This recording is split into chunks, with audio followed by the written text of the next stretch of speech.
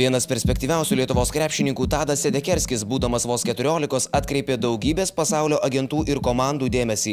Jau netrukus universalus žaidėjas pasirašė sutartį su Baskonijos komanda, kurią pernai pratęsė dar ketveriems metams. Tiesa, šį sezoną Sedekerskis netikėtai grįžo į Lietuvą, kai buvo paskolintas Kedainių nevėžio komandai. Nors čia jis naudingiausias žaidėjas, bet pats sako, kad žaidybinio ritmo dar trūksta kartais dar pritrūksta pasitikėjimo, kartais pritrūksta tokios drąsos vien dėl to, kad, manau, praleidau praeitais metais e, visus metus be didelio žaidybinio minučių kiekio, tai tas šiek tiek išmužė iš vėžių ir, ir šitą sezoną irgi vėl negavau, tai čia e, realiai tiesiog manau, kad su laiku po truputį stengiuosi, aišku, nesu savanaudis visą laiką, kai matau pasą, aš jį paduosiu, tai stengiuosi padėti komandai visur. Tai tiek, tiek atkovot kamuolius, išprovokuot pražangas, duoti gerus pasus ir, ir gal, gal žaidimas šioje komandai nėra labai daug paremtas ant manęs. Stengiuosi tiesiog e, dar geriau atrasti, vis dėlto nesu čia tiek daug laiko atrasti save ir būti kuo, kuo, kuo, kuo naudingesnis komandais. Tadas tikrai, manau, būtų net tas pirmoji vieta, prieš kurį buvo sun, sun, sunkiausiai yra žaisti, nes, ta prasme, kai aš dar toks irgi jaunas buvau, tas trečias numeriukas mano ūgio buvo tas 195 normalu, o dabar tas krepšinės taip vystosi, kad 205 kaip Tadas, tai yra trečias numeris ir jis gali žaisti nuo pirmos iki ketvirtos pozicijos, dabar jau yra normalu. Kažkiek, sakykime, man primena Mindaugą Kuzminską. Jis gali žaisti nugarą, jis gali žaisti veidų, jis turi puikų tritaškį metimą, jis turi labai gerą, sakykime, tokį pirmą žingsnį ir tą vadinamą stebeką su metimu. Tai jį daro iš tikrųjų universaliu ir sunkiai sustabdomu žaidėju. Na, man per trenerio karjerą iš tikrųjų nedaug tokių potencialių žaidėjų teko matyti. Žaidybinis laikas 20-mečiui Sedekerskiui dabar pats svarbiausias. To jis jau ilgą laiką neturėjo Ispanijoje ir neneigia, kad buvo psichologiškai sunku. Kolektyvas buvo praeitais metais tikrai nerealus, turėjom tiek žvaigždžių realiai, bet su visais netraliai, su to pačiu Shane Larkin, Bauva, mane tikrai palaikydavo vos ne kaip savo ten sūnų, tikrai sakydavo, viską turi, tik tai stenkis dirbti ir nesinervuok, nes matydavo, aišku, visada kaip jaunas esi žaidėjas iš trenerio papildomai gauni ten mažą klaidelę tavo, tai yra, reikia sustabdyti treniruotę, priekti ir tas yra psichologiškai tikrai sunku, bet e, komanda tai žiauriai nerealiai palaikydavo ir tas manau padėdavo. Aš vienintelį kol kas trūkumą matau, tai nežinau, ką jis veikia ten Ispanijoje ir ką, bet, sakykime, yra prasileidęs uh, varžybų pojūtį. Tai sakykime, ko jam trūksta, tai grįžti varžybas, praleisti daug laiko aikštelėje ir pagauti komandinį žaidybinį ritmą. 2,5 cm ūgio Sedekerskis paauglystėje daug rungtyniavo į žaidėjo pozicijoje, o dabar dažniau žaidžia baudos aikštelėje. Visoms penkioms pozicijoms įgūdžių turinti krepšininką komandos draugas Gintautas Matulis labiausiai mato kaip lengvai krašto polėje. Aš manau, tas treč, trečia pozicija yra idealiausia ir gal, galėtų ketvirtų žaisti. Toks greitas ketvirtas, kuris gali mesti, pausinti, popinti, ne? Toks, jeigu palyginimui, tai toks Andrėsas Nočionė, ne, toks gali patraukti per aikštelę, tai ką, ką tikrai gerai daro, dėl kamuolių kovoja.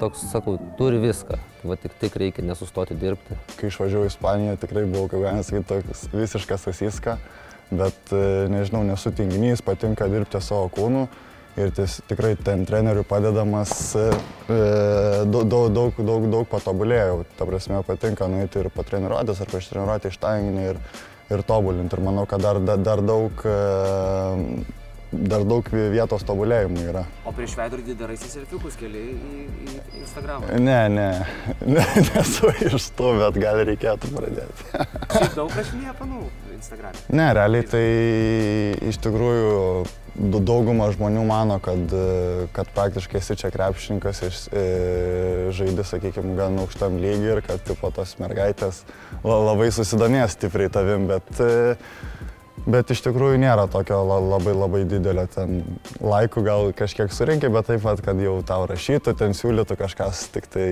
mm, viską, viską pats turi. 2,5 m ūgio puolėjas gimė Nidoje, nors augo ir krepšinio paslapčių mokėsi pajūryje, bet pats sako, kad labiausiai tuo metu palaikė Kauno Žalgirio komandą. Kaip ir visi maži vaikai, nežinau, e, sirgdavau žalgyrį. Tiesiog gal Neptūnas tada ir nebuvo tokio lygio, tokio lygio komanda, bet e, vis dėlto buvau Žalgirio fanas ir žiūrėdavau Eurolygos visas rungtynės. Nesu aš nei, nei prieš rytą, bet e, nežinau, kažkodėl nuo mažens labiau Žalgiris traukia prieš širdies. Žurnalistų, agentų, klubo vadovų ir visuomenės dėmesys Tadas Edekerski lepino jau nuo ankstyvos paauglystės. Dabar jis neslepia, kad kaip tik tuo metu spėjo persirgti ir žvaigždžių lyga.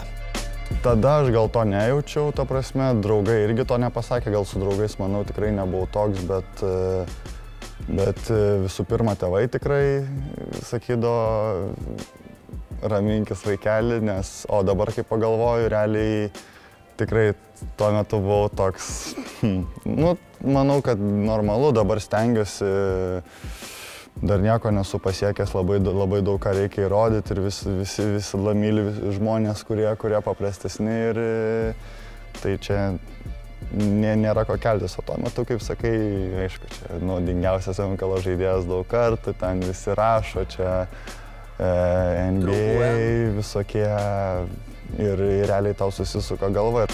Treneris Paulius Juodis pažymi, kad Tadui dabar svarbiausia gauti žaidybinio laiko ir derintis prie komandinių veiksmų. Mes tikrai negesinam jo individualaus mestriškumo, tą, ką jis gali padaryti. Bet vėlgi grįšiu prie to, turi tas įvykti laiku ir vietoj. Ta iniciatyva jo. O kas buvo, sakykime, pirmose rungtynėse ar treniruotėse, tas būdavo visiškai nelaiku ir visiškai ne vietoje. Jis imdavosi iniciatyvos, sakykime, nutraukdavo derinį, o galutinis rezultatas klaida polime ir du taškai mūsų krepšiai. Tai va Tadas iš tikrųjų išgirdo, ką mes treneriai norim iš jo ir, ir tą sprendžia, sakykime, ne tik treniruočių metu, bet ir rungtinių metu.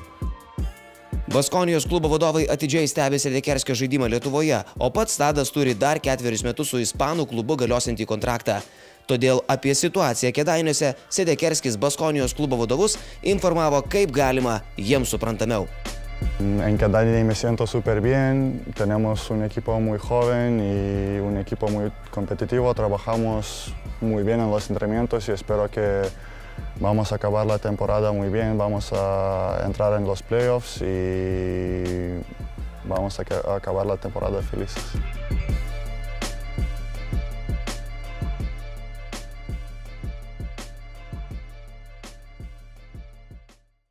Daugiau lygos naujienų LKL feisbuke.